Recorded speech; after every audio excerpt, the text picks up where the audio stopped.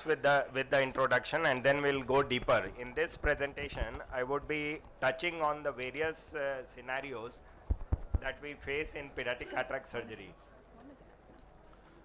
So the most important factor, this is always a controversy and a group of group of pediatric ophthalmologists keep insisting that uh, others should not do it and whether adult cataract surgeons should do or not. So yes, everyone should do it, but again we have to train ourselves very well. And this is a scenario.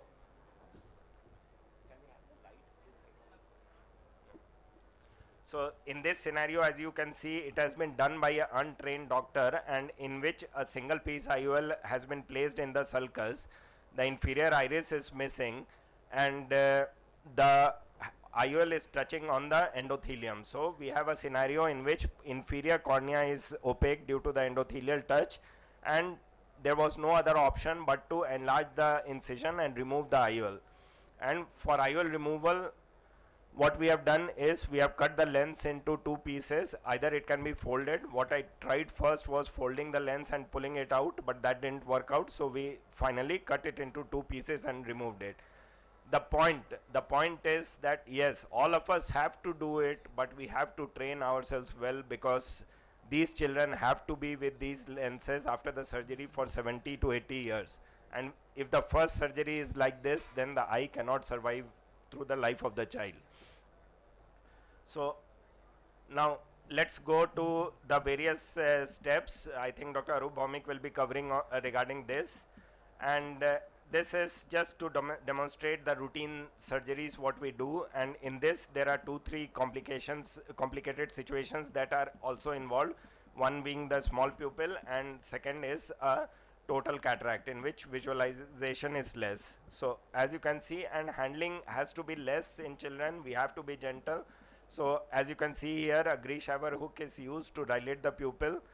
And important is again capsulorhexis. I'll just touch upon it. Rest will be covered by Dr. Arup Bhaumik. You have to grip and re-grip to form a adequate size anterior capsulorhexis.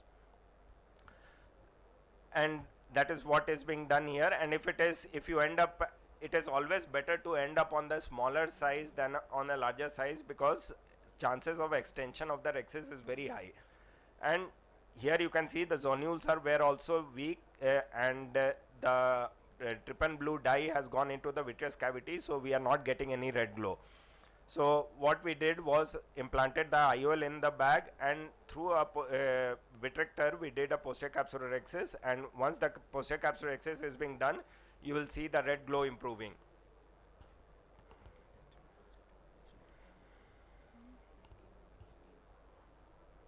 So, and uh, this is one of the older videos in which uh, we were doing 20 gauge uh, uh, vitrectomy. Now with the newer machines, we have a 23 gauge. Lens, again, what lenses, uh, I think Dr. Akila will be covering this, what lenses to be used. We will touch in detail during her talk. This is another scenario what we get in unilateral cataracts in children, which is posterior lenticonus. If the child is having unilateral cataract and there is no history of trauma, it is always better to assume that uh, uh, the posterior capsule is deficient and be careful. The most important thing is better not to do a hydrodissection in such cases. Then the chances of uh, the anterior vitreous face getting disturbed which will be much less and as you can see with uh, first the peripheral cortex is removed keep the central cortex for the last because that is the weak uh, point of the posterior capsule and once it is done then IOL implantation and with uh, uh, either a manual or um, uh, vitrector excess for the posterior capsule.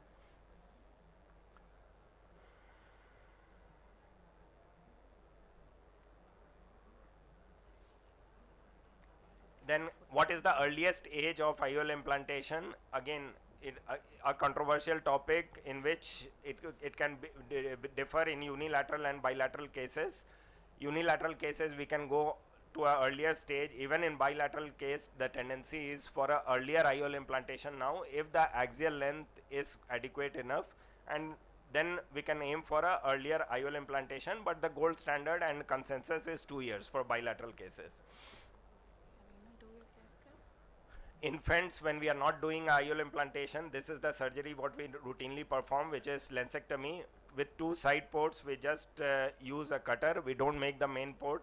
And we get a very smooth anterior capsulorhexis with the high speed cutter itself. And uh, after that the cortical aspiration is done either using a bimanual or using the cutter itself. What I do is I switch off the cutter and do it with the uh, vitrector itself. After that is done, the posterior capsule is uh, um, cut, anterior vitrectomy done, and be careful of, uh, of leaving a rim for a future secondary IOL implantation. Now, various scenarios what you would see in your day-to-day -day practice when you are doing pediatric cataract is uh, like in this case a three-year-old child with unilateral cataract and other eye having a myopia of uh, 7 diopters. So definitely one factor what we have to consider is that in unilateral cataracts the myopic shift in the operated eye is faster than the fellow eye. So that has to be considered and I would suggest that the opinions may vary but if we aim for a small myopia over a period of time it will catch up with the fellow eye and then the child will do well.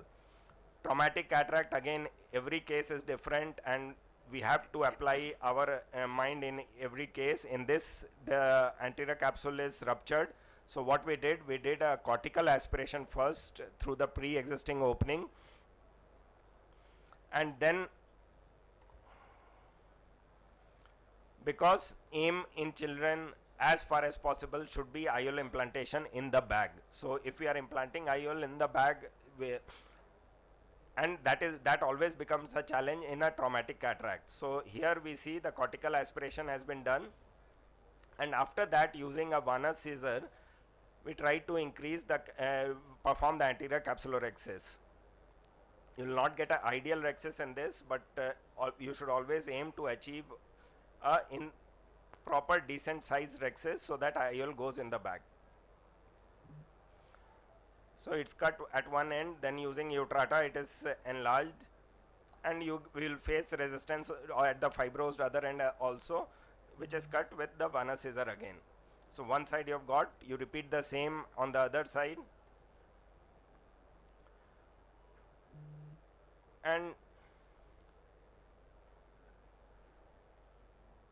try to complete it and then the IOL is implanted in the bag and posterior capsular access is performed using a vitrector.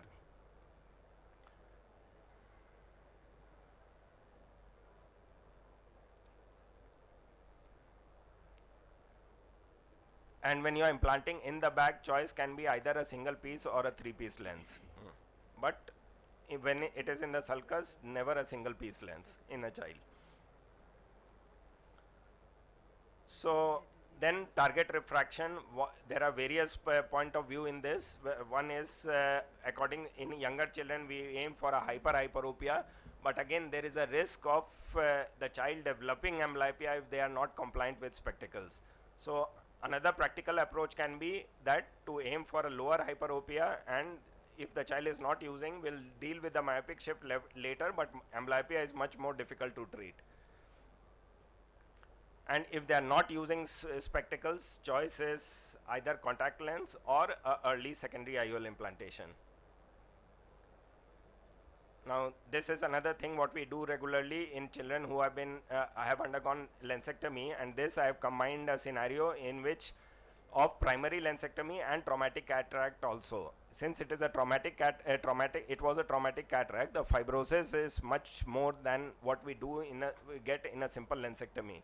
So main thing is that clear the sulcus whenever you are doing a secondary IOL implantation you should always sweep in uh, a spatula to see if the sulcus is clear or not because if uh, if that uh, if posterior synechia is there you will not achieve uh, sulcus placement and there are chances that IOL may go into the vitreous cavity. So once that is done, uh, carefully a three-piece lens, and you have to rotate the uh, the cartridge as well, so that the IOL opens horizontally. Then chances of it slipping in the vitreous cavity is much less. Subluxated lens, I will ha have a different presentation on that, so I'll skip this one. And the most important thing is amblyopia treatment after surgery, which is must and follow up every three months initially. And what we look for is change in refraction, visual axis opacity, which is a fact, which is seen in many patients. Many of these children will undergo second surgery. IOP monitoring and every visit we have to keep on reinforcing the importance of patching to the parents because that uh, message has to go in every visit. Thank you so much. Next. Patients. Dr. Kavindra. My topic is uh, posterior capsulorhexis and anterior vitrectomy, various technique and scenario. I have no financial interest. Uh, every case, pediatric case is, is unique uh, and you have to deal every case differently. But we have follow the standard rule and because in the most of the uh, in until unless it is it should be implanted IOL implanted in the capsular bag so that is the aim and to clear the visual axis you have to do posterior capsulotomy and anterior vitrectomy because if you do only the cap, uh, posterior capsulotomy or uh, only uh, posterior capsulorhexis then PCO can uh, grow over the anterior, uh, anterior vitreous face. So it is very important to do anterior vitrectomy with posterior capsulotomy or posterior capsulorhexis and again and there's the age how up to which age we should do the posterior capsulotomy with anterior it's it's debatable. Some surgeon always prefer to do every pediatric cases do the posterior capsulotomy and anterior vitrectomy the three standard procedure we can two standard procedure basically we can follow that the posterior capsulorhexis anterior vitrectomy and IOL implantation in the back. This is the earlier we used to do this technique. Now this is that with the 23 gauge cutter, we always all shifted to this technique. That the second one IOL implantation in the capsular bag and anterior vitrectomy with pos posterior capsulotomy. Whether it is a limbal approach or pars plana approach. Most of the cases, you in 90 95 percent cases, you can uh, able to do it the limbal approach. Only very few cases we need to do a pars plana vitrectomy with posterior capsulotomy. And some surgeon, uh, one of our uh, surgeon in our hospital, he preferred to do posterior capsulorhexis and he put IOL implantation, put IOL in the ca capsular bag and then he, he preferred to do anterior vitrectomy. The logic behind this, he always uh, scared in, in one of his cases, two of his cases he implanted uh, multi-piece lens during the posterior uh, with, uh, posterior capsulotomy the rex, uh, the edge of the capsulotomy extend up to the equator and he have to remove this uh, that lens into the uh, sulcus and this is the reason why he preferred to do a posterior capsulorhexis implant IOL flask and do anterior. I will show all the cases in the video in nutshell. This is a technique uh, it's an old video this is a uh, technique of posterior capsulorhexis I make a puncture first and put viscoelastic through the that puncture to lift the posterior capsule. If you, if you able to lift the posterior you can uh, see that the I am lifting uh, pushing the viscoelastic through the small puncture and lift the posterior capsule. Once you are able to lift the posterior capsule now it is very easy to do the posterior capsulorhexis then there is a no traction. You can able to make your uh, uh, as you require your required size. And in in can in you can complete that posterior capsulorhexis with few attempt few grasping with few attempt. This is a uh, this is a completion of the posterior capsulorhexis now this is a old uh, this is a, a 20 gauge cutter and uh, doing the uh, vitrectomy.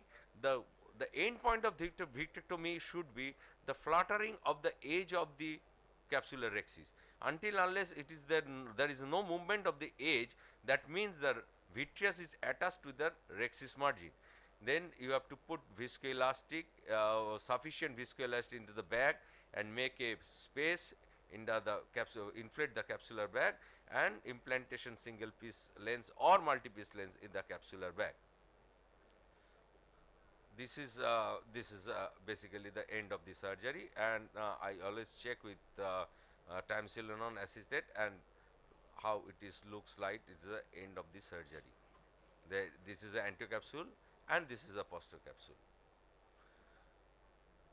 And now we all shifted to the, this technique. Uh, I make a, a, small puncture below the uh, below the lens, and and through the that puncture I uh, do the some amount of vitrectomy first and then I keep my parameter very low vacuum in 150 and uh, aspiration is 15 then with the very low uh, uh, parameter I just uh, I am enlarging the posterior capsule capsulotomy as required.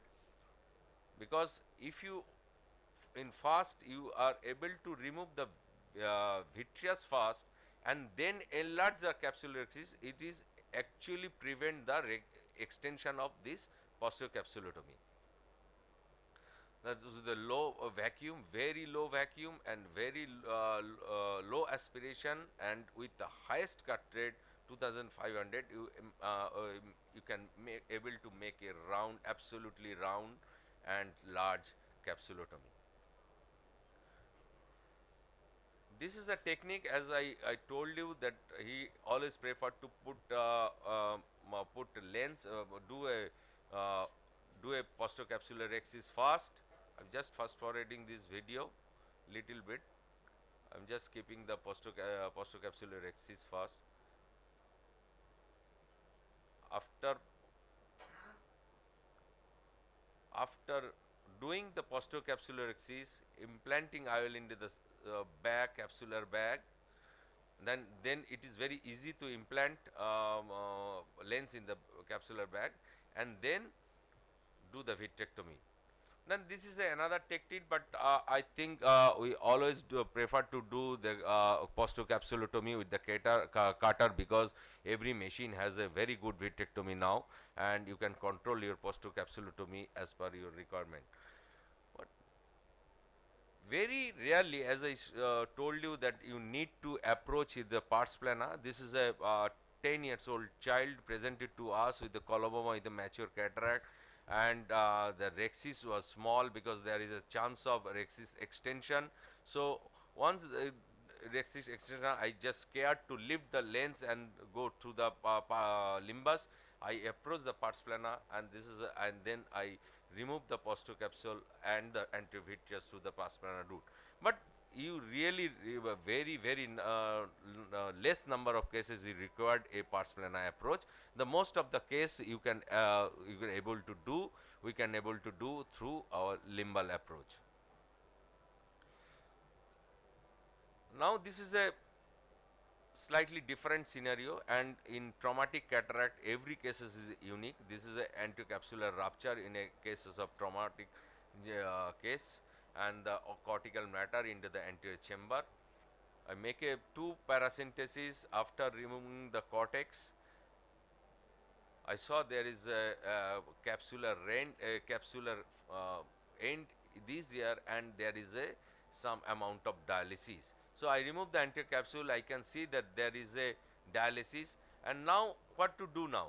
I have to put the lens into the sulcus, but there is a chance of uh, rotation of the sulcus uh, haptic to the, the, dialysis area and I will can decenter later on. So, I plan to do as there is a fibrotic posterior capsule it is very easy to do a posterior capsular rhexis in this case even there is a dialysis in this side I am able to perform a post large postocapsular rhexis in the rest of the postocapsule.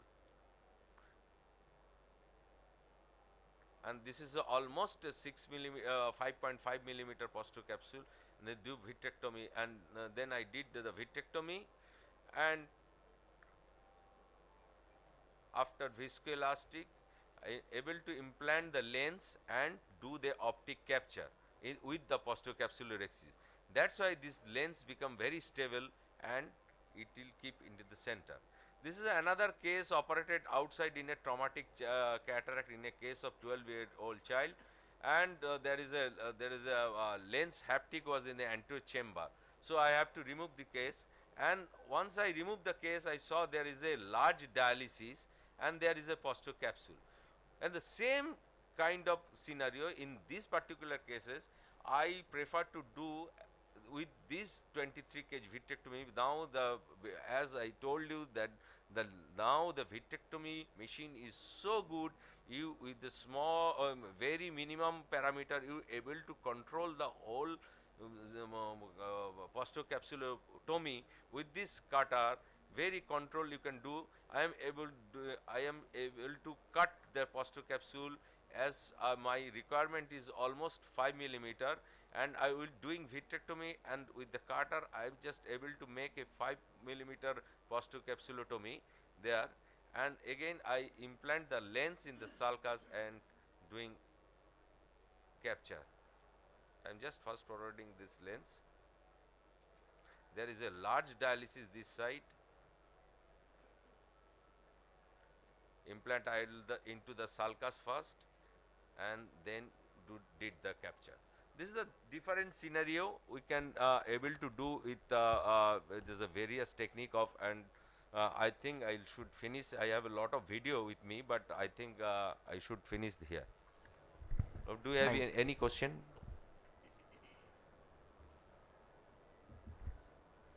Thank you. Now we have a guest from Nepal and his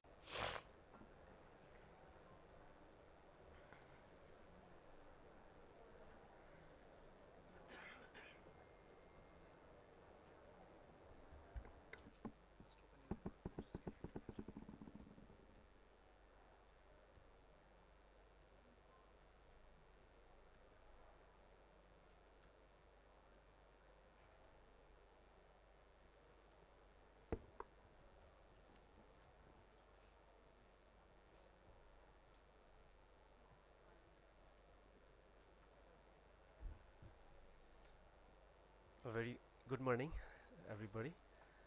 Um, I'm uh, presenting. Uh, the this is a small uh, study we did in Nepal Lumbini Eye Institute. I, it is intraocular lens implantation with decreased calculated IOL power for emmetropia and post-operative refractory status at age of 8 years in congenital and developmental cataract. I have no uh, financial conflicts to disclose. Uh, as we know, congenital cataract is one of the most common cause of uh, treatable childhood blindness, accompanying 5 to 20 percent. And uh, surgery for congenital visually significant cataract must be performed as early as possible to prevent irreversible amblyopia. Optical correction includes aphakic glasses, contact lenses, and primary intraocular lens implantation, each with advantages and disadvantages. Primary IOL implantation in pediatric cataract has been choice of surgical procedure nowadays. However, the age at which IOL needs to be implanted is still debatable when it comes to infants and toddlers. In Nepal, in 2015, we have pediatric cataract workshop, and it recommended IOL implantation after six months of age, but below six months, as the adverse events are high, uh, is not recommended and initial undercorrection of IOL power is common practice in children undergoing pediatric cataract surgery. So alternative is to implant full power and then IOL exchange at the later dates. However, if primary IOL with undercorrection is done, long-term refractive status of these children is largely unknown. Moreover, there are many studies suggesting different diopter deduction for calculated biometric power.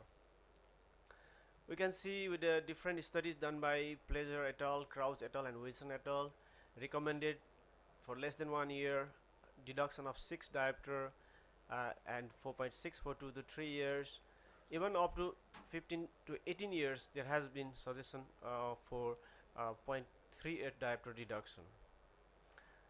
Again, there are recommended uh, studies from different uh, studies like Crouch et al. for one year 4 diopter deduction for 2 3.5 3 to 4 years 2.5 it goes like this and emmetropia for 9 years.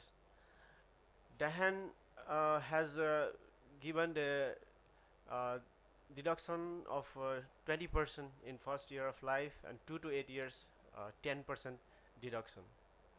Again Enyedi et al recommended this rule of 7 where each uh, like for one year we deduct 6 6 plus makes uh, 1 makes 7 So at the age of seven, plano is implanted, and for eight year minus one, it goes like that. So our study's objective uh,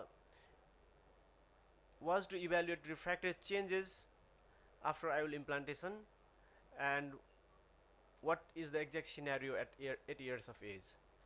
So we did retrospective study uh, in between 2013 to 2015, uh, three years, uh, and data were collected regarding demography, axial length, biometry, post-operative refractive status, and the main outcome measure was post-operative refraction at 8 years. So inclusion criteria was less than 8 years congenital and developmental cataract and primary IOL implantation. Traumatic complicated syndromic cases were uh, excluded. So coming to results, there were 181 children with 288 eyes, 40% being unilateral and 59% being bilateral. Male were 67%, female 32.3% with ratio of 2.09 to 1. Right eye and left eye is nearly equal. So uh, emmetropia was achieved in 20 out of 77. That that was 25.97 percent, whereas myopia was in 28 percent and hypermetropia in 45.45 percent. This is our uh, result, which showed axial length uh, was 20.75 at the age of 8 1 as and similarly it is uh, rise uh, increasing and by this 6 years 22.47 and biometry at the age of 1 year mean was 28 around and by uh, 5 to 6 year it comes to 22 23 so our aim of hyperopic correction was uh, 3.5 at one age and deducting 0.5 in each age and by 8 years we uh, prescribed implanted plano uh, but the mean hyperopic correction in our study we found that is more or less uh, similar to our target. Now coming to the discussion part congenital and developmental cataract commonly bilateral as in our study and there was no preference for laterality of eyes. Male children were found twice as uh, common than in female. Targeted emmetropia was achieved in 26% hyperopia persisted in 45% and myopia in remaining children as in the study by Sachdev et al. The mean axial length at 1 years was 20.75 millimeter and at 7 years i- up to 7 years it is increasing and suggesting that anatomical maturation was not completed yet. Mean refractive power at 1 years of age was 20 f diopter which went on decreasing at the age of 6 to 7 years it was 22 to 23 so it suggested that myopic shift was continuing as the age increasing. At early age was more shift in myopic than in later age. It was similar to the study by Enyedi et al and Coker et al. So coming to the conclusion part primary IOL implantation with hyperopic correction is accepted practice. Emmetropia can be achieved. However some hyperopic or myopic refractive status at 8 years of old is not a surprise myopic shift continues as the age increases and at early age more shift in myopia than in later ages and counseling to patient regarding need of follow-up is very important because we lost about two-third of patient up to eight years of follow-up uh, as per record so thank you Thank you so much. It's very good study. Just one one extra data if you can get out of this uh, database is comparison everything related to IOLs. Mm.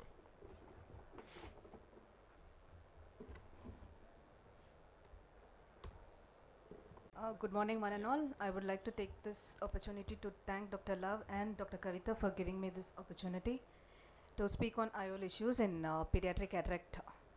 So, when you talk about issues in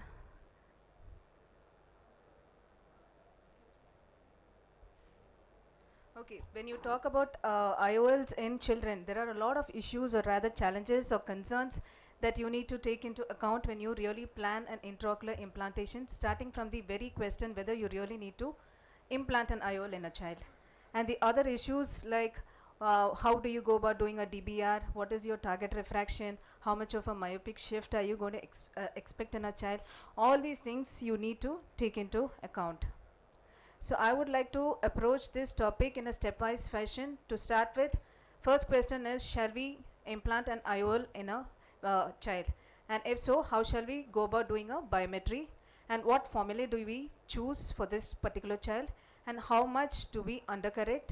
And what IOL are we planning to implant? And think about the long-term issues. now, shall we implant an IOL? I think first thing you consider the age of your patient. Now, if the child is going to be a month old child, now the IATS has given us the clear guidelines as to how to go about and we basically follow this outcome.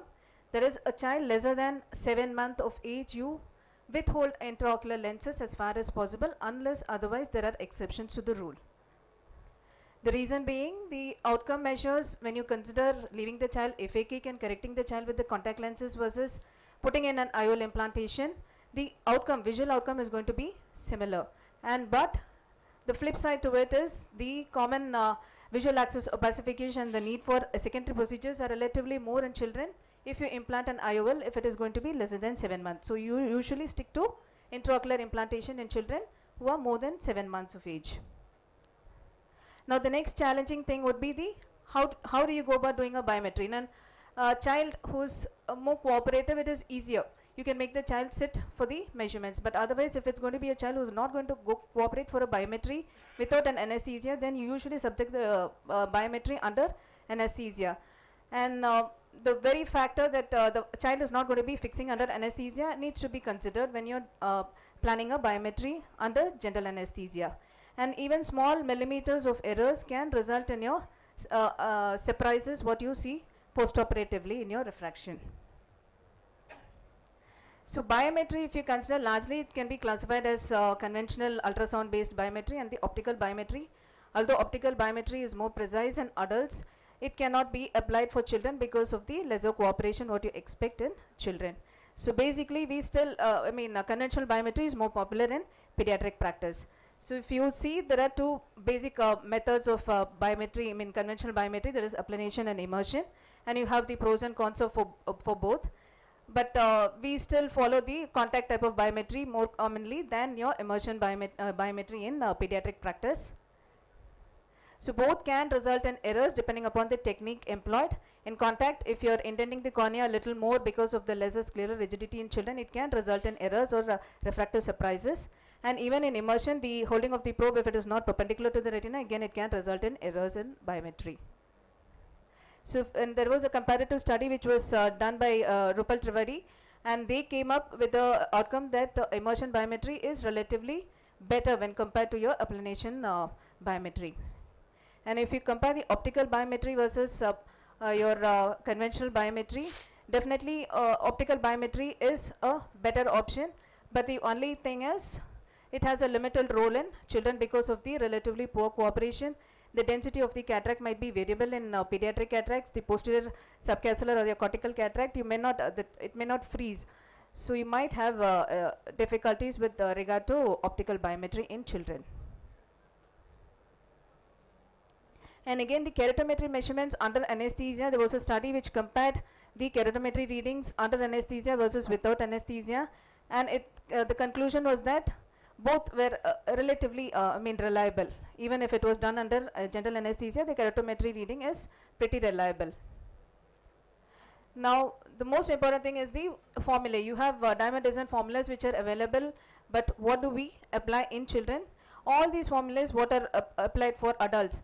Uh, it has its own errors when it comes to children because of the various anatomical factors which you need to consider the effective lens position in a child might be different from an adult due to the axial displacement of the intraocular lenses which are more pronounced in children, the shallow anterior chamber depth, all these things needs to be considered when you choose a IOL formula for a child. Now these are the various formulas and the one which I have highlighted in red are the most common formulas which people use for pediatric practice that is the SRK2, the Holladay 1, SRKT and Hoffer's Q and now it's the Barrett's formula. Now you have various studies which have recommended various formulas. Now these are a few which I have highlighted. The David Plager study recommended the SRK2 to be the least variable. Now the other study by Nihalani that showed that Hoffer's Q was uh, more reliable and that had the least predictive error. And uh, there's yet another study by Ramesh Kekunnaya which was done at LVPI which showed that SRK2 again had the minimum predictive error. So they recommend the SRK2 for pediatric practice. Now this was the study which was done at SN Calcutta and that showed again the SRK2 and the SRKT to be more reliable with the least uh, predictive error. And this is the latest one which was done by Vasavada which again showed that SRKT and Holladay 2 were more predictable in pediatric practice. Now even though you have so many formulas which are recommended by various studies, now we usually at Sankara Nethralaya we uh, the preferred practice pattern is to follow the SRK2 for pediatric pa- patients. Now under correction if you consider you really don't know uh, but uh, you need to weigh the pros and cons and you have to strike a balance between the risk of amblyopia in childhood due to the hyperopia what you are introducing and the least refractive error which you expect in an adulthood. So you really don't need to stick to the guidelines or the universal guidelines which are being uh, recommended. You need to tailor, uh, tailor make all your recommendations and uh, you have to consider the age at onset, the ethnicity, the amblyopia management and all these things into consideration when you plan your target refraction. Now what we basically uh, follow is as uh, uh, my previous speaker was telling the Enyedi's guidelines which we usually follow the rule of 7. Now there was a study which was done to validate this Enyedi's uh, uh, criteria in uh, uh, by the LVPI group and they again found that uh, most of the children by the age of 7 years they achieved almost near expected refraction or the predictive error was relatively lesser. Now, uh, coming to the long-term effects of the implantation of the intraocular lens in a child, what are the things that you need to consider? Now, does this implantation of an intraocular lens really change the axial length or the corneal curvature or refraction? The studies have proven that this study, which was published in British Journal, uh, pro, mean, proved that there was no significant uh, retardation or acceleration of the axial growth in the eyes after implantation of an intraocular lens as compared to the normal eyes. And now, uh, this is another study which was done by uh, Dr. Srinivas K. Rao et al. and uh, they again showed that there was a uh, significant myopic shift if the intraocular lens was implanted in children who were infants, that is lesser than one year. Now, why you need to think about all these things is when you plan an intraocular lens and you target your refraction, you need to consider this age at uh, implantation and you have to modify your IOL power accordingly.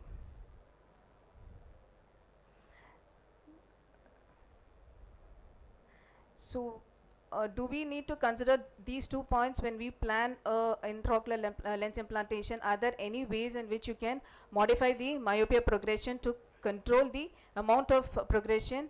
And do we really need to revise the target refraction is something which needs to be answered in the long run. And uh, my last thing is, which IOL do you choose? We usually uh, stick to the single piece hydrophobic acrylic uh, intraocular lenses and three pieces we usually for uh, uh, uh, I mean implant the acrylic hydrophobic lenses and always avoid silicone and hydrophilic acrylic lenses because of the larger uveal inflammation what you expect in pediatrics and uh, um, PMMA lenses of course is also an alternative option. Now is multifocal IOL an option in children? You have again the pros and cons with regard to multifocals.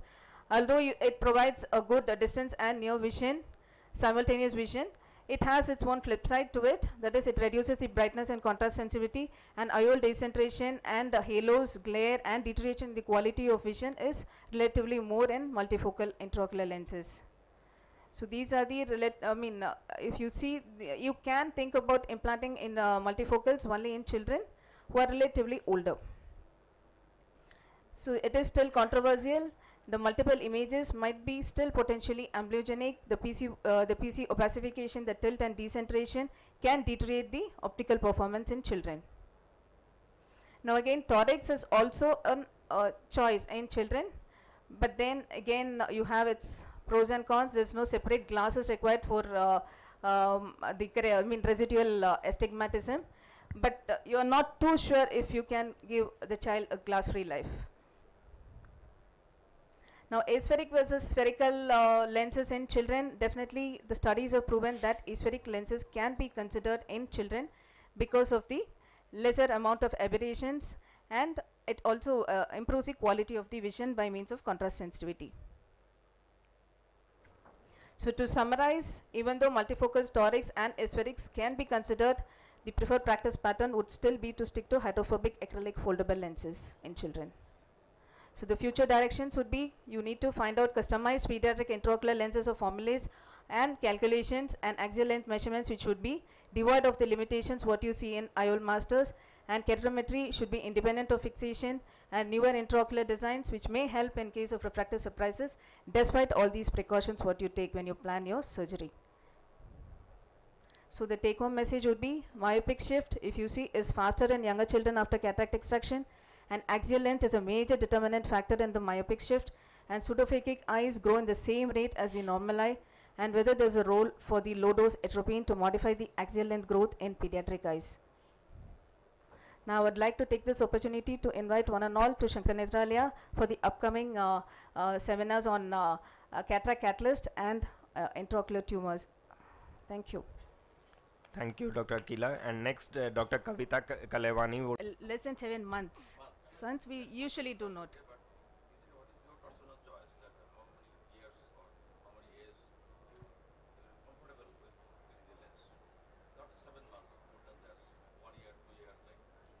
More than seven months, we usually plan intraocular lens unless we do a biometry and axial length measurement and corneal diameter measurements. If it is within the, uh, if it is more than 10 millimeters of uh, corneal diameter, horizontal vertical, 9 to 10 millimeters also, we do plan an intraocular lens here. Under GA only, sir. Yes, I have two questions. One is, uh, what is the longest duration of experience for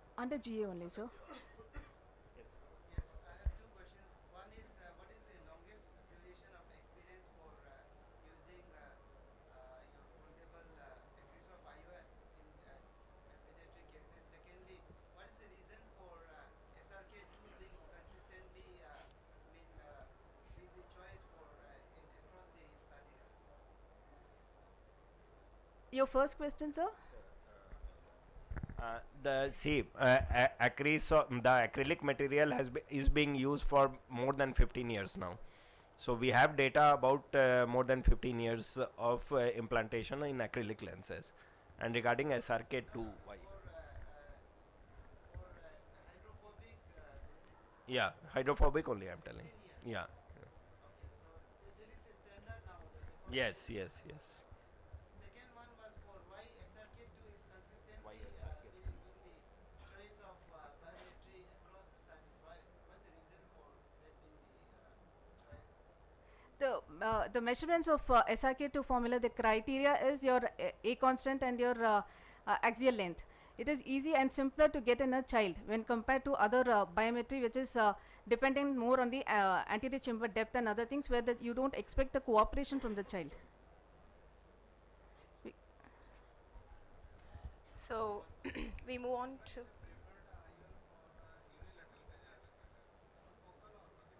Monofocal. Monofocal. We go on to another challenging topic in pediatric uh, cataract management is the pediatric traumatic cataract management. So as we know, in children everything is different and uh, more challenging as compared to adults. And for a trauma cataract management in children, there is no specific protocol like you have to manage it individually as per the situation. So the aim of any management of a traumatic cataract is to first restore globe integrity and then visual axis to be cleared, then optical correction and amblyopia in this order only. So trauma as in, in uh, can be blunt trauma versus uh, penetrating trauma like these kind of various presentations. So blunt trauma is usually intact cornea. It can be total cataract, iris issues can be there like dialysis or sphincter related issues. Lens may be unstable. We can have a doubtful posterior capsular stability can be doubtful and there can be angle injuries. And other posterior segment injuries are more common like uh, bleed in the retina, vitreous detachments etc. Penetrating trauma is more of anterior segment trauma with corneal involvement being more. I- again capsular integrity and iris. So we have all these different scenarios. So we have to know how, since it is all different and no really, we have no fixed protocols, we need to take it as a step-by-step approach. So when, how and along with what do we manage a pediatric cataract trauma? So issues involved is cataract management at the time of primary repair. Do you do it? or if you don't do it, so what is the time between trauma and cataract surgery management in a child? And when you implant IOL or decide to implant, whether it should be primary or secondary, and how do we decide? And what position of the IOL placed, like bag or sulcus or where? And what are there other additional issues like iridodialysis, glaucoma surgery required, vitrectomy surgery required? So when do you do it? At the same stage, or you plan it as a stage pre- uh, stage? And finally, the patient counseling and medico-legal issues are also involved. So the issues, first issue is cataract management. Do we ever do during a primary repair? So why not? Ideally, we should not do. Why not is because open globe is always a chance of infection, and it usually patient comes to an emergency state where we may not be equipped with the management of a cataract, and availability of expertise and infrastructures may not be there, and of course risk of infection and inflammation. But if at all we do, when do we do? So there can be presenting with a breached anterior capsule with lens matter in the anterior chamber. So we have sometimes no choice. And avoiding multiple surgeries may also be a factor when there is a actually a cataract already present. And uh, early rehabilitation is possible, especially in older children, and posterior segment assessment is possible if you remove the media clarity. So issue two is if IOL implantation, do you ever do during primary repair? Again, very, very uh, dicey. So this is a six-year-old female, iron nail injury. So obviously here, in the first situation, we do only the wound repair because it is a very messy wound. But here in the second situation, the lens is ruptured, but we see a very small corneal tear well away from the visual axis. So we can, if we are able to get a good DBR, which is not at all doubtful, and if it's an older child, we can actually remove the cataract, do a small one suture for the corneal wound if it is leaking, and do an IOL implantation. So very rare situations, we can plan an IOL implantation, even if it is a primary situation. So if not, so best avoided, the take home is best avoided. Chance of infection, biometric issues are really high, but very, very select situations, yes, there can be uh, option. So if not during the cataract management, then when do we do the uh, timing? Timing of trauma and cataract surgery. If we don't do it during the wound repair, when do we do? So when do we do it has lot of uh, things to consider. So what are the factors is mainly age, intraocular pressure due to inflammation is a main factor. So in this situation when we see in the left side picture is a wound repaired two days prior and they present and we see an inflamed eye with the ruptured anterior capsule. So we here we can't delay further otherwise the eyes will not, the inflammation will not get under control. So even in the case, even if it is only two day back repaired, you have to do a surgery. Here in controlling the inflammation and clearing the visual axis is more important than any other uh, point at this stage. So the surgery will be difficult because cornea clarity may not be that great. The globe may be inflamed, but we still have to do um as much uh, chance as possible. But considering IOL and all that is reserved for a next stage. So different scenarios, different type of management. We we see children in all sorts of situations like immediate, one week, one month, like that. So IOL implantation, when do we do? We do depending on how the situation is, is. Here this is a membranous cataract, membranous posterior capsule, but otherwise the membrane is very small, so we are able to make a rhexis in the PC into the membranous part of the capsule. And we have a, if we have a good bag support, ideal is as we all know is in the bag implantation of the IOL. So we do a, we can see a very good support of the posterior capsule despite trauma. So and then we form a good uh, sulcus and place the lens in the bag. So here we see a traumatic cataract with fibrosed and fused anterior and posterior capsule. So he, uh, as much as possible, we try to maintain uh, the capsular, ca anterior capsule is a very important, most important uh, management in the case of trauma because even if the posterior capsule is not so reliable, we have a good sulcus to plan the lens implantation. So here you see there is a fibrovascular band there. So we had to use a cautery, remove that band and we find that the PC is fibrosed. So you clear, there is a synechia there, we clear that and here there is no intact bag but a good anterior anterior sulcus support is there so we were able to put the lens in the sulcus. So primary implantation can be in the bag or the sulcus depending on capsular integrity. So IOL implantation primary or secondary as we saw dependent on these factors like age, PC status, presence or absence of corneal sutures. So we manage the cataract in many situations. Cataract is the not the only thing we see in children with uh, uh, trauma. We can have iridodialysis. We can have a large significant corneal opacity.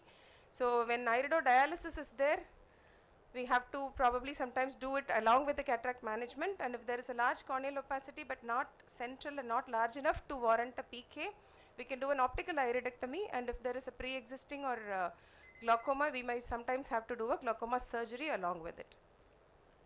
So this child has, you can see the pupil fully not at all present. It's all gone and uh, and dragged to the wound of entry. So we have to form a pupil, find a cataract there. So here pupilloplasty had to be done along with the cataract surgery to form a visual axis. Similarly, here you see a large corneal opacity but not exactly central and a very small pupil. So even if you do a cataract surgery and give a visual good uh, pseudophakia, unless the cornea is a little more relatively clearer, we can't do a, we can't give a good visual rehabilitation including glasses and all. So we can make a iridectomy in the end.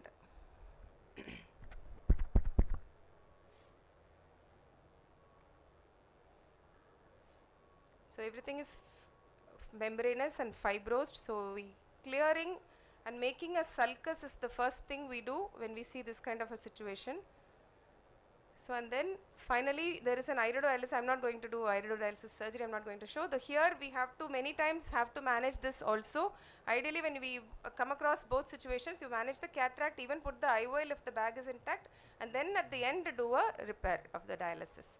So long term is a continuous challenge because of refractive changes, amblyopia, glaucoma, retinal complications, and strabismus. So to sum up, the take home is cataract management is best avoided during primary repair. So ideal time is between one week to one month depending on inflammation and other things. Amblyogenic age, clearing visual axis rather than putting an IOL is more priority. Amblyopia due to aphakia versus DBR issues you have to plan. And primary IOL implantation has proven to be the best chance for adults and as well as children. And concurrent issues can be managed simultaneously. You can even take a support of your other colleagues whenever required. And long term issues are always uh, hand in hand, and patient counseling and other things have to be taken care. Thank you, and again, I reinf- welcome you all for these two conferences coming up in June. Thank you. Thank you, Kavita. And uh, Morning, everybody. At the outset, I would like to thank Dr. Lav for including me in the team. And it's always a pleasure to be part of this team and present my experience. And, and this time, uh, my topic is of uh, rehabilitation, visual rehabilitation after pediatric cataract surgery. So, um, what happened? Uh, mostly, I would like to uh, present three cases to convey the message. So, uh, rehabilitation actually starts before surgery. Uh, it's better to plan rehabilitation rehabilitation before surgery. There, the, it comes the issues of unilateral cataract versus bilateral cataract, and then uh, the strategies vary. So far, we have also we have 10 minutes. we have discussed about all those issues and age of onset of cataract and the duration of stimulus deprivation determine the possibility of amblyopia. Even if there is a little bit of window, if the the child is able to use the eye uh, light for uh, use the eye for some time, that makes a lot of difference. I'll show you in the case. And biometry doesn't aim at full correction, so there is pro- profusely leaving a chance of amblyopia spectacle correction is inadequate. Inadequate in the sense either incorrect uh, correction or the child is not using the spectacle. So all these things have to be kept in mind.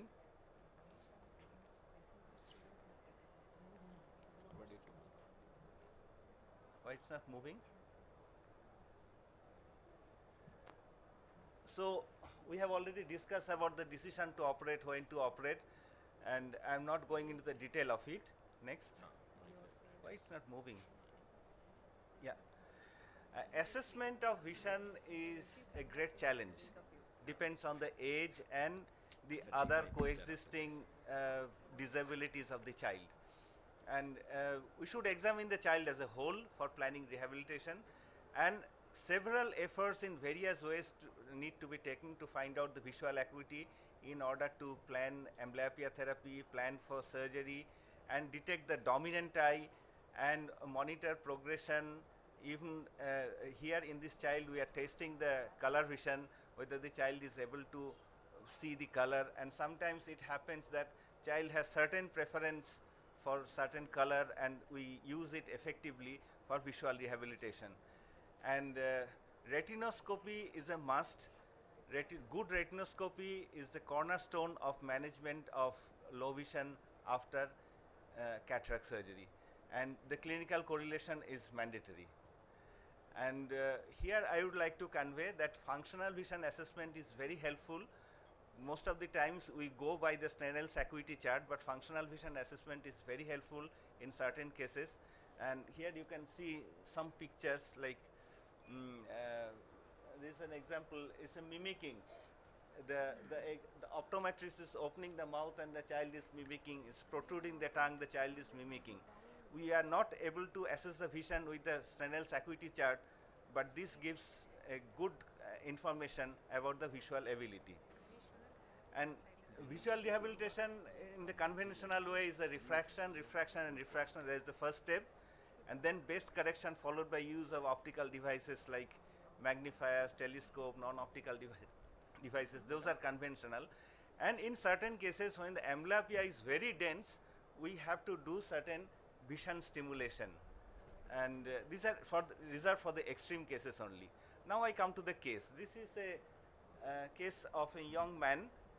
Mm, uh, the picture was taken when he was being felicitated for his achievement in academic career. He, he did PhD in literature from a very prestigious university and he presented at an older age with esotropia and nystagmus. Uh, opacity was not total. He had some window through which he could see and what I have highlighted that he preferred reading the books although he was he used to struggle to read the books but he preferred reading the prints rather than going uh, uh, studying by with the braille only. So that actually helped and when we did cataract surgery, vision improved significantly after cataract surgery. And he is a very IT savvy guy. So he is the person who gives me the feedback which works better for rehabilitation. So when I asked him, what do you, what are you comfortable at using uh, different uh, the IT, IT applications and all. Uh, so when I gave him uh, the, the CCTV, pocket CCTV, he said, we can have the same effect with the, with the smartphone. So he gave me this list. So these are the good apps that I find beneficial and I recommend these apps to other patients. So this is the feedback from my patient who is really a IT savvy guy and he finished his PhD in literature. He said, if you would have done my cataract surgery much earlier in my life, I would have gone for computer sciences. So this is one case. And this is another case, bilateral congenital hereditary total cataract, late presentation, late surgery, and only we could give back orient, better orientation and mobility after cataract surgery. So here is the uh,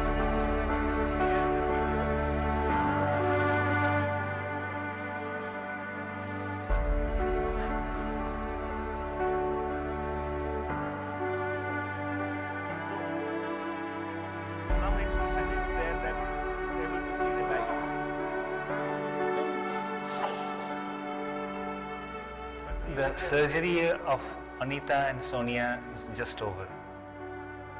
Now we don't expect them to perform like a normal child. It takes some time.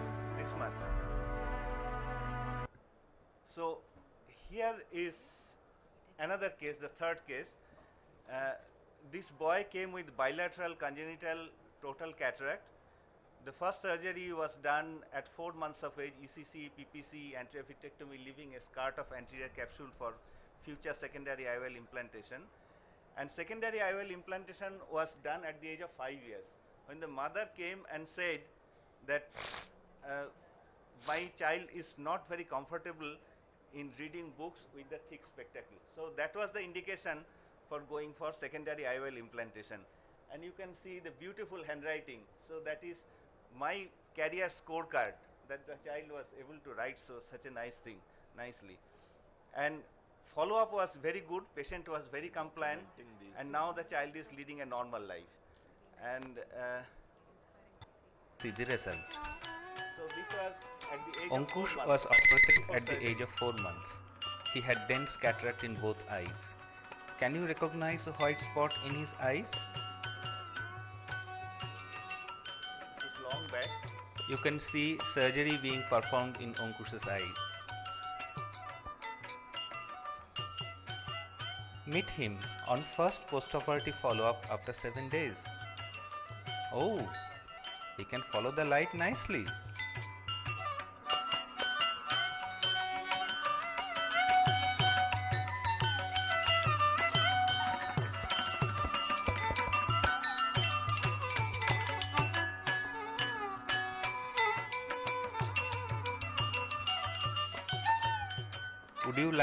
Meet Ankush after one year?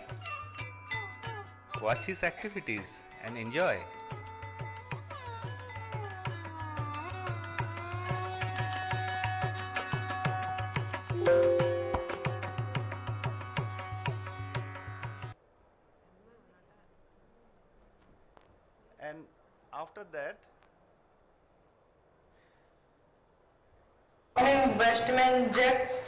And Morgan has been run out of the Oregon under 19 World Cup in South Africa after being scored by the money a few days as the incident occurred during a team outing in nature's reverse after Australia so we want this thing to happen.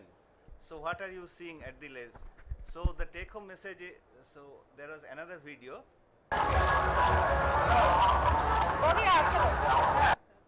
So the boy is catching the ball. That means the stereopsis is there. So that's what we want to achieve at the end. So the take home message is plan for rehabilitation before taking up surgery, regular follow up, and thorough examination during each follow up till the vision stabilizes and making use of IT. And I am share, sharing an old picture. This is uh, in the year 1997, I believe. Uh, there was a research initiative with MIT. Uh, Dr. Pawan Sinha uh, is a famous person in artificial intelligence in MIT. So he was studying uh, the visual development after cataract surgery. So that is there, and if everything is all right, we see these happy faces. Thank you. All of us do clinical work, but the way you have documented the change it brings to a child's life, it is amazing. yeah.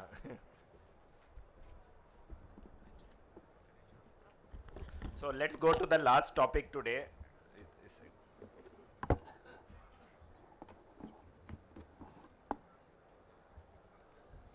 And that's uh, again a very complex scenario in which decision making is very difficult in is when we face lens subluxation in children. So i'll skip through these uh, th- uh, slides because all of us know that these are progressive diseases and uh, uh, we need to operate. The dilemma is whether to operate or not to operate. So decision to operate will base will be based on the refractive error of the child age of the child and the best corrected visual acuity. Now best corrected by best corrected visual acuity i mean if the child is maintaining maybe 612 part 618 we tend to try to postpone it as much as possible but if the vision starts dropping further and the subluxated the lens equator starts coming to the pupillary area that is time we operate and the age group is around maybe 8 years and above Mm. so the I'll show I'll run you through the various surgical options that are available. And the first uh, surgical option is lens aspiration with uh, capsular tension ring implantation with Ahmed segment and intraocular lens. So and that is the problem. Like every case is different and still i have not been able to figure out which is the best procedure. Because every we try different permutation combinations. Some of them work sometimes we end up in complications so it is probably one of the most challenging situation we face as pediatric ophthalmologists. So here you can see we started the capsulorhexis and then since the visual axis it's not in the center we used uh, the capsular hooks. The capsular hooks uh, the tip has a bulb. So chances of rupture is much less. Then after completing the capsulorhexis we implanted a, uh, uh, CTR did cortical aspiration. Again cortical aspiration with CTR in place is difficult but it's possible. And single piece lens is the easiest to implant in these cases. And after everything is done we remove it and what we see is a it is a grossly decentered capsulorhexis so an, a nick is made and we enlarge the capsulorhexis and to get a respectable size and all these every step is important. One one step goes wrong and then we it is in a total mess. Scleral pocket is made and either we can use a 10-0 Prolene or a 9-0 Prolene suture for uh, fixation of the Ahmed segment. Ahmed segment, uh, the eyelet is um, um, fixed with the suture and it's implanted in the bag. And now we have to take both the ends using the railroad technique and once I had uh, the needle got stuck and I ruptured the whole bag while pulling it out. So that was a very bad complication in which wh- which I had with a Ahmed segment and then I started doing Cionni rings after that. And once it is done, the lens is more or less uh, centered and we get a good result and most of them will go to 6-9 vision. That is the best part of it. Next option is a Cionni ring. So uh, as I said, I ended up with a complication after doing a few Ahmed segments. There was a complication. Then I decided to do a Cionni ring in one of the cases. And the first case went on so smoothly that I was thrilled at the end of it. And I thought that I'll always do Cionni ring after that. But again, after doing few cases, we had problems with Cionni ring as well. So in this one good thing what I did was after uh, the capsulorhexis was complete using uh, the capsular hooks, uh, before the cortical aspiration I implanted the Cionni ring and what you can see the ring is at of a larger size so we have we have to maintain a posterior push so that it should not come out of the bag. As I would show in a subsequent uh, video, if it comes out of the bag then it becomes very very difficult to push it again inside. So always maintain a posterior push while dialing the Cionni ring. And another another important thing is to align it with the subluxated part of the lens. For that you have to rotate the Cionni ring and that causes further stress on the zonules. Another where point where we go wrong is if the eyelet is in the bag. Eyelet has to be anterior to the anterior capsular rim. If, if by mistake you have left it in the bag and you pull the suture, then the anterior capsular margin is lost and then it becomes difficult. All this I have done, that is why I am telling. Because when you do multiple cases, then these are the places where you falter and again once it is sutured it comes and it, it is always better to make it little bit more tight because with time it will loosen up and the lens will start decentering again. So as you can see in both the cases the other end started coming to the center and the end we sutured was tighter. But in long run follow up this this part will start coming in uh, towards the center. Now third option third option was by accident in which uh, only the CTR was implanted and I was uh, when I did the other eye of this child only the CTR helped and the we, we, we could get a good centration. So I was not prepared with a C, uh, segment or Cionni ring for the other eye. But after doing the cortical aspiration and what you see is the CTR is implanted and after that the IOL is implanted in the bag. And at the end of it still we have a grossly subluxated IOL bag complex. So that would not work. And that left me in a dilemma what to do next? Because I was for this particular case I was not prepared with a Ahmed segment or a Cionni ring. So what we did in this case, and you can, see when a posterior capsular capsulorhexis was done using a cutter. So I took a chance and just pierced the capsular bag using a 10 Prolene uh, needle. And one part went posterior one part anterior and fixed the haptic used the haptic as a fixation point and pulled it uh, towards the center. And it remarkably it worked well. But danger is the bag rupturing and tearing away and we may not achieve uh, what is desired. This is one of the ways but i'm not sure till i do few more cases of this. Now coming to difficult situations this is what i was speaking of uh, once the first one or two cases of Cionni ring went very well, we got overconfident and in this case, as you can see, the rhexis again is uh, common in all the cases. We try to pull it towards the center and get a properly 4 to 5 millimeter rhexis. And why all these efforts are being done? Because again, we have to maintain the anterior and posterior segment compartment of the child so that in future chances of retinal complications, retinal detachment is less. Mm.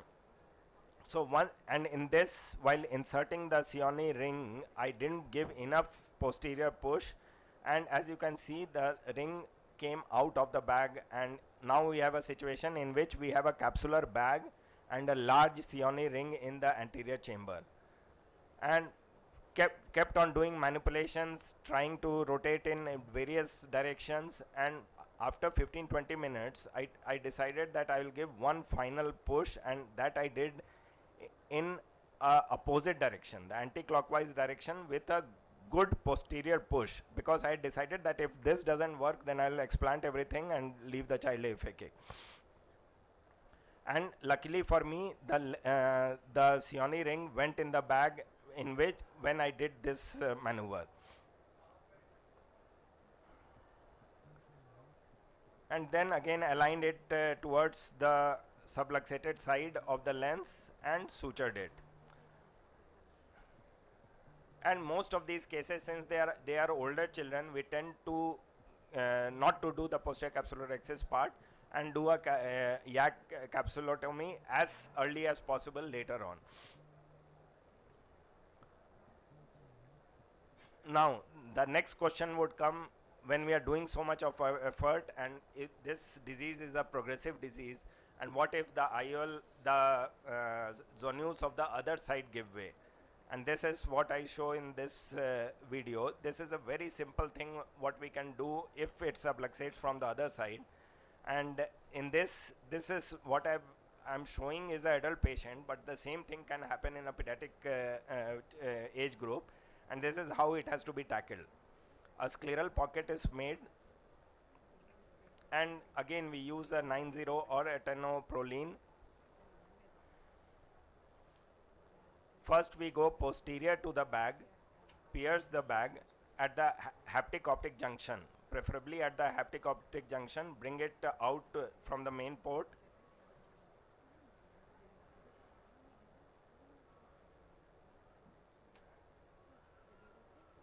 And one mistake I had done in this case was I had bent the Prolene um, needle twice and then maneuver ma you cannot maneuver it very well after you have done that. So we had to rotate the needle once and very gently pull it out. Otherwise, it though the in these cases the capsules are well fibrosed and chances of it giving way is very very less. And the second one, the same needle through a railroad technique, you bring it out of the posterior uh, uh, of the scleral pocket anterior to the uh, the haptic optic junction. So you have a fixation point at the haptic optic junction and you pull the lens and here it gets centered. So the the counter the P, the P, P, the uh, surgeons who discourage the MR segment and Cionni ring procedure in showing it as a progressive disease, this could be a good answer to that so that you can get uh, you can do it in a very small procedure 5 to 7 minutes you can fix the bag again that was a three piece and here it is here is a old video of a single piece lens in which the same thing has been done. First goes uh, anterior to posterior pierce the bag bring it out. And the same needle this time will go on from the opposite side and oh, this is a double ended so double ended we go and take it anterior in to the haptic optic junction and through the scleral pocket and suture it again and thus centering the lens IOL back complex to the center.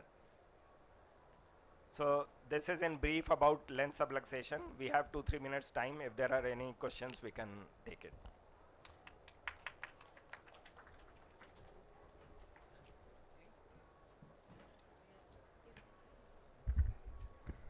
Change of uh, refractive uh, error, especially matrix is very common in such uh, pediatric cases. Uh, pro- uh, related issues. Simultaneous, never.